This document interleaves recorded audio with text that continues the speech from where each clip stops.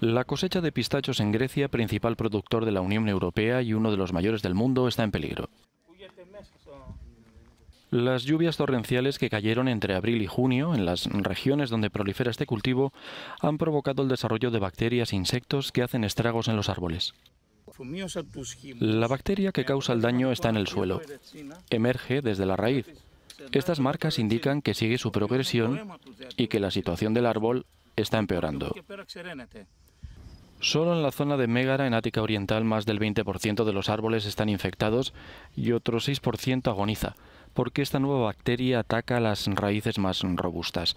Las lluvias combinadas con un invierno suave han obligado a adelantar la cosecha del pistacho que está prácticamente finalizada. Normalmente tiene lugar a mediados de septiembre.